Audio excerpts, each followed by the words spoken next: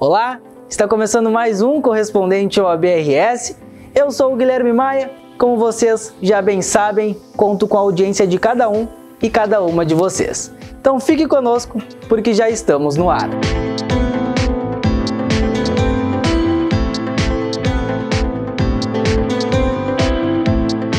E a gente inicia a edição desta sexta-feira trazendo a informação de que um ofício abordando a operação deflagrada pelo STF foi enviado pela Ordem Gaúcha ao Conselho Federal da OAB na última quinta-feira.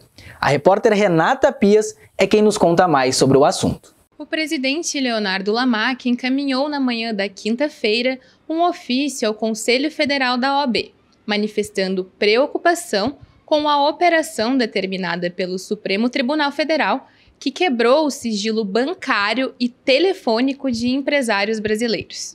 Na ocasião, o ministro Alexandre de Moraes determinou busca e apreensão de seus bens, sem pedido da Procuradoria-Geral da República, sob a alegação de prática atentatória à democracia. De acordo com Lamáquia, Tal decisão, pelos fatos públicos, notórios e incontroversos revelados pela imprensa, indica violação do devido processo legal, cláusula pétrea da Constituição Federal.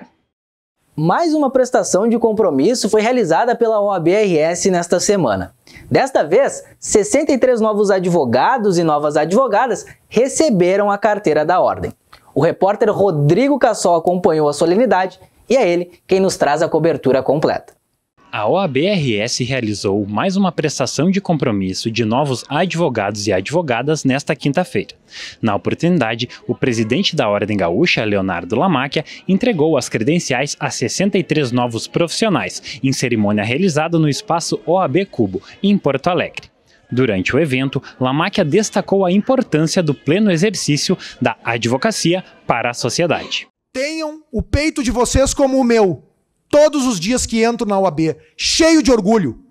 Orgulho desta profissão, que é a trincheira da cidadania, que defende a liberdade, que defende os direitos humanos e que defende o Estado democrático de direito. A íntegra da solenidade pode ser conferida no canal da OABRS no YouTube.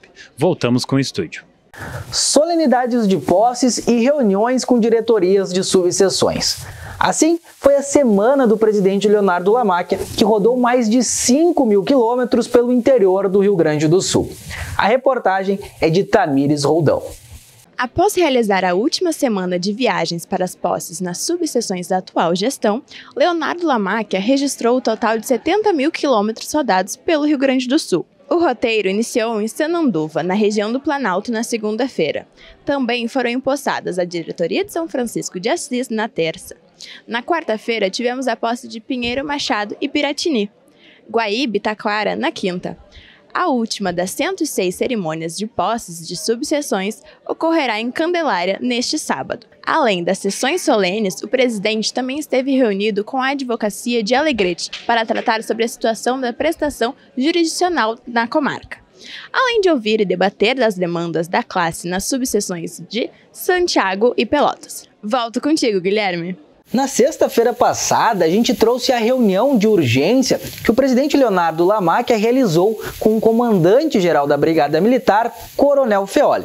O objetivo foi para tratar do caso do menino Gabriel, encontrado morto após abordagem policial no município de São Gabriel. Uma semana depois, com o avanço das investigações, a OABRS seguiu acompanhando de perto o desenrolar do caso. A repórter Fabiane Pereira traz as últimas informações sobre a participação da Ordem Gaúcha. A OAB do Rio Grande do Sul segue acompanhando as investigações sobre o caso do jovem Gabriel Marques Cavalheiro, que desapareceu após uma abordagem da Brigada Militar e foi encontrado morto no último dia 19 de agosto. Na quarta-feira, o presidente da OB do Rio Grande do Sul, Leonardo Lamáquia, esteve em São Gabriel, onde se reuniu com representantes da segurança pública, como delegado responsável pelo caso, integrantes do Ministério Público e com o prefeito da cidade.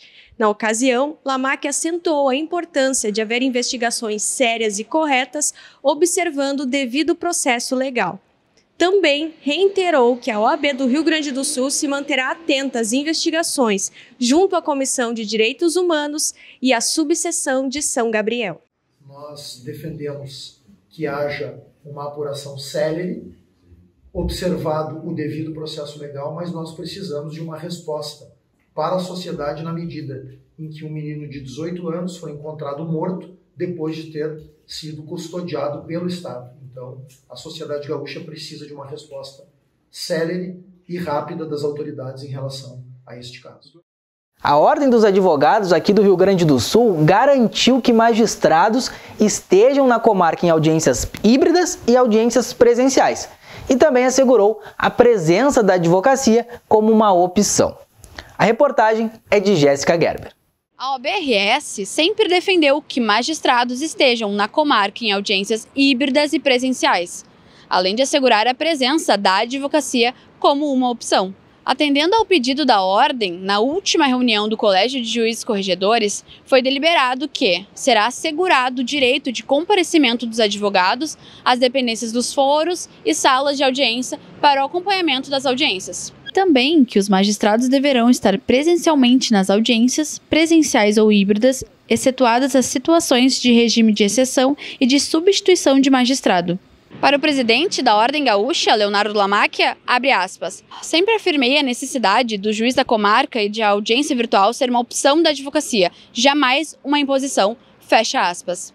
Estamos chegando ao fim de mais uma edição do Correspondente OABRS, mas antes eu quero te fazer um convite. É que a partir deste sábado até o dia 4 de setembro, a Ordem Gaúcha terá um espaço super especial na Expo Inter. É a casa da OABRS, que estará de portas abertas todos os dias e com uma programação repleta de atrações para a advocacia de todo o estado.